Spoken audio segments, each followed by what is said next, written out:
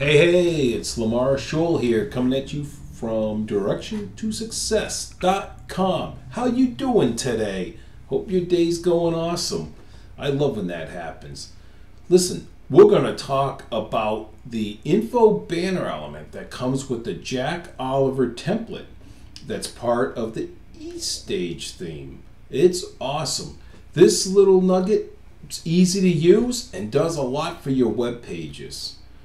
And what the info banner element, sorry, the info banner element, what that does, it actually displays an image and then you can superimpose two headings of text over top of that. It looks pretty sharp. It's real easy to use. So what I'm going to do, we're going to slide all the way over to my computer screen and we're going to just show you a little sample page here of what I've got. I've already got one put in, just a little mock-up here for us. And what it is, the elements here at the top of the page, this is where you'll find it. So this blue light bulb is the image that I put in there. So it looks pretty neat, right? And I got these awesome striking head headings, right? Heading one and heading two. How do you like that?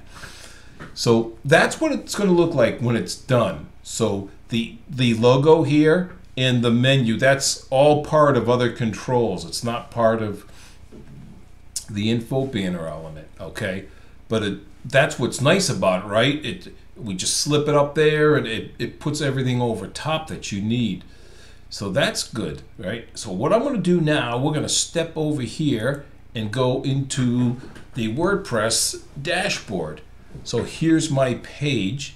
And again, here's the info banner section element that we're using.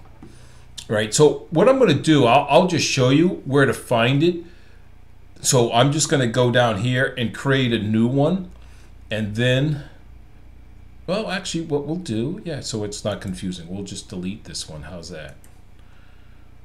So we'll come into here, and now we come into our add element page. And again, here's all the, the um, I think I've mentioned this before in, in past videos. We have all, all the elements that we're talking about that come with the Jack Oliver theme start with JO, right? The Joe elements. So there's quite a few here, and we're going to eventually go through all these. But right now, I want to talk about the info banner section. So we're going to click on this. So here's our info banner settings window. And you can see this section up here is where we're going to add the image. And then here's where we're going to add our two headings. And that's it. And then we're done.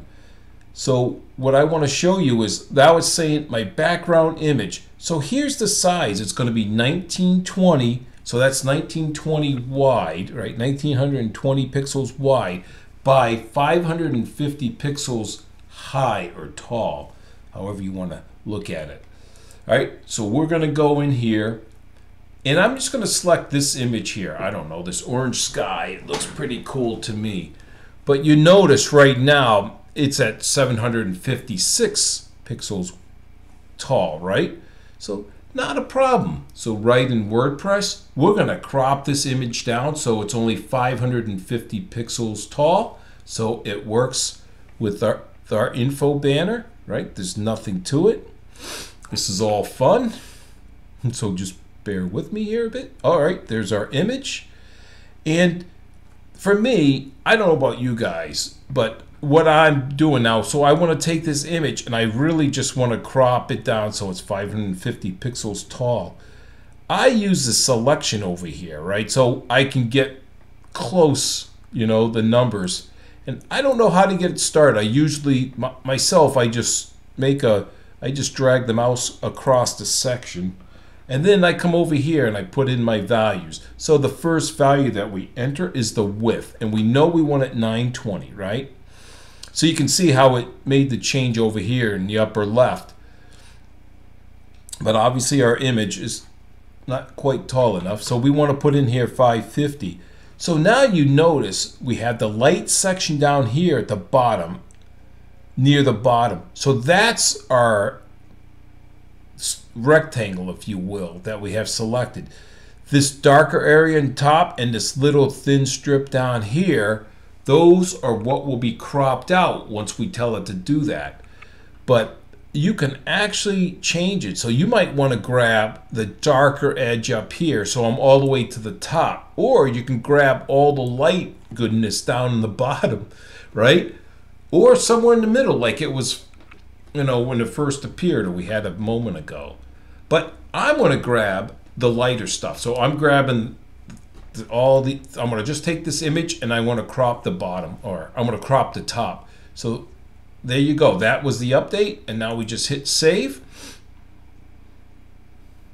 And there she is. So we are going to go back to pages. So it was called test info banner page.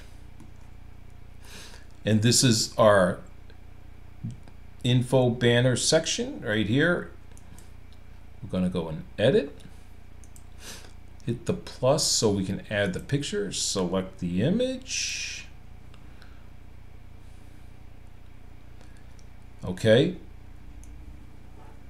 So now I want to change the heading here, right? So we can say something like, um, let's get started with direction and goals. Then the next line, welcome to my home on the net. Whoops. Back up the net.